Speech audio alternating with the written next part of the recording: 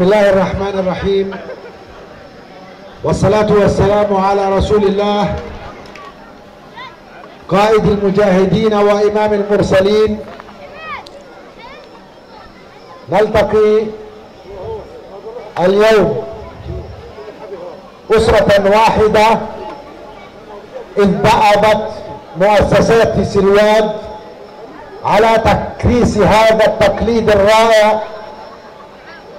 الذي نتشارك خلاله بالفرحة وبالأمل إذ نلقي نظرة للمستقبل من خلال بناتنا وأبنائنا الذين اجتازوا هذه المرحلة بنجاح وتفوق يدعونا للفخر والاعتزاز. وقد قال الله في كتابه العظيم في كتابه الكريم. يرفع الله الذين آمنوا منكم والذين أوتوا العلم درجات. ولا قول بعد قول الله. تلك خارطة الحياة. وهذا المبدأ الراسخ الذي يحكم ويجب أن يحكم سلوكنا في علاقتنا مع أبنائنا في تقدير العلم. وإذ تقوم مؤسسات بلدتنا بهذا الاحتفال فإنما لتحقيق هدفين. الأول تكريس ثقافة لدى الجميع بتعظيم العلم. وكذلك تكريس ثقافة المحبة. وتعزيز أواصر العلاقة الأسرية بين كل أبناء البلدة حين نلتئم لنمارس الفرح معا وسويا رغم كل الظروف الصعبة. وكذلك لنعبر عن احترامنا وتقديرنا لمعلمينا ومعلماتنا الذين يؤدون رسالتهم بفدائية عالية ونحن نعلم جميعا المشاكل التي يتجشمونها وهم عائدون أو ذاهبون إلى مدارسهم. أيتها الأخوات أيها الإخوة نحتفي اليوم بهذه الكوكبة من بناتنا وأبنائنا. يغيب عنا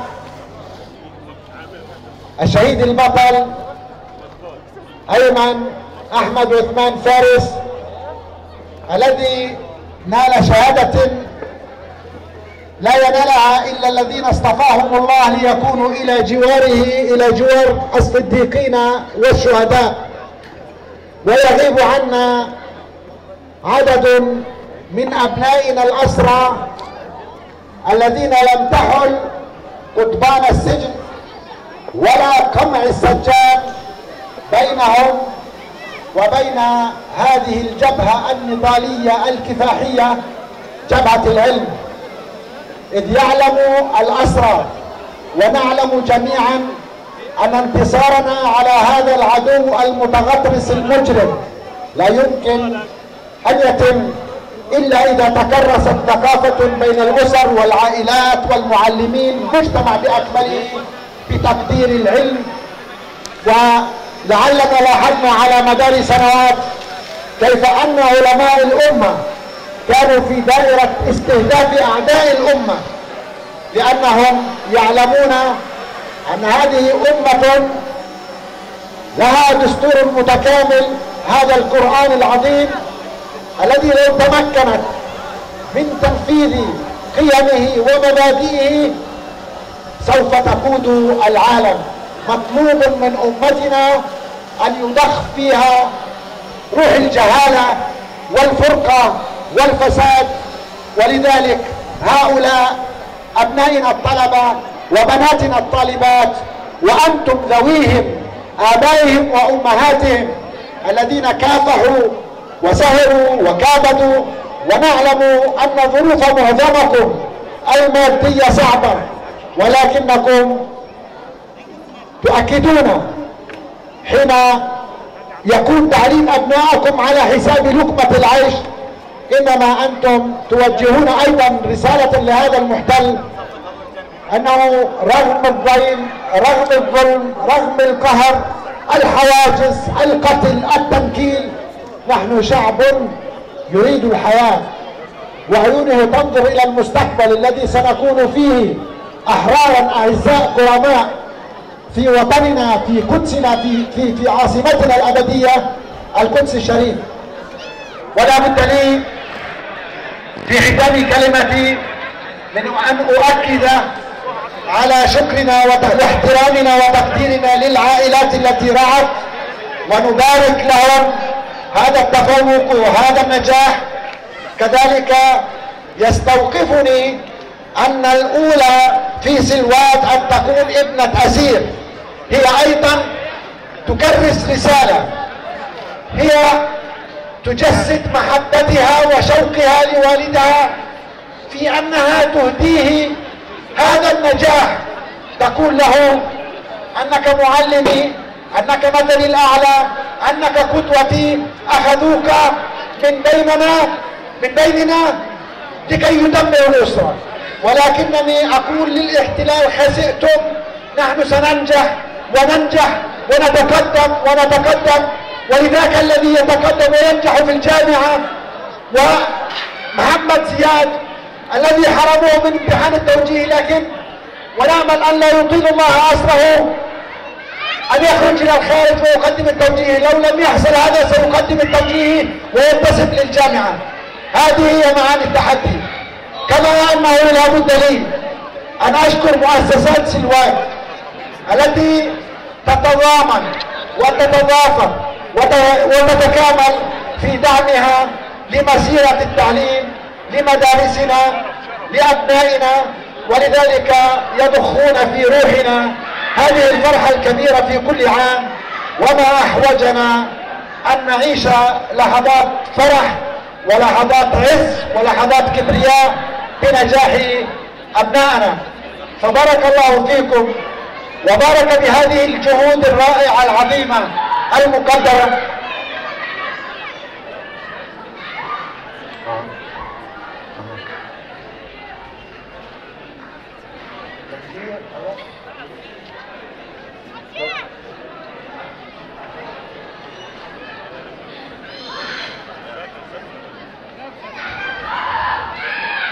أخي على لفت انتباهي إلى أن هناك أسير آخر قد قدم الامتحان التوجيهي وهو الأسير البطل عبد الفتاح. واعذروني إن سقطت الأسماء سهوا فأنا كما ترون أرتجل هذه الكلمة لكن لكل أسير لكل بطل لكل شهيد وشهيدة لهم مكانة في الوجدان وفي القلب عظيمة. قبل أن أختم كلمتي باسمكم جميعا أتوجه باسمى التحايا تحايا الفخر والاعتزاز لأهلنا لأبناء شعبنا في القدس الشريف الذين يدافعون عن أولى القبلتين وثالث وثاني الحرمين الشريفين القدس الشريف. يقاتلون ليل نهار لحماية أحد أعظم مقدسات المسلمين الذي يستهدف من قبل العدو الصهيوني باعتباره واستنادا إلى وهم وأكاذيب يضحونها أنه مكان هيكلهم المزعوم. تؤكد القدس وأهلها أن هذا الشعب الفلسطيني البطل عصي على الكسر ولا بد لي أيضا من أن أتوجه بالتحيه باسمكم أيضا لأهلنا لشعبنا الصامت في قطاع غزة. المحاصر الذي يحاولون أن يجوعوه ليكسروه ثم ليكسرونا نحن. لكن غزة الصامدة عصية على الكسر ولن تنكسر وهي تقدم كل يوم نماذج في الكفاح. سائلين المولى عز وجل أن يلتئم شملنا وأن تتجسد وحدة وطنية حقيقية. بين مختلف الفصائل بين مختلف القوى في جبهة المقاومة في مواجهة هذا العدو المتغطرس الذي لا بد لا بد أن يهزم ولا بد لهذا الشعب الذي قدم كل هذه التضحيات وهؤلاء الأبناء أيضا الذين سيقاتلوه كل من موقعه كل في جبهة في جبهة مختلفة وجبهات مواجهة الاحتلال واسعة. كل إنسان يستطيع أن يناضل ضد هذا الاحتلال. سننتصر نصرا عزيزا كريما وسنقيم دولتنا وسيقوم أبناؤنا هؤلاء كل من موقعه بخدمة وبناء مؤسسات هذه الدولة لتكون نموذجا يحتذى. ألف مبروك للطلاب والطالبات لذويهم ولعائلاتهم لمعلميهم ومعلماتهم ولمؤسساتهم. مبروك لسلوان ومبروك لفلسطين هذا النجاح. والسلام عليكم ورحمة الله وبركاته. Yeah, yeah, yeah.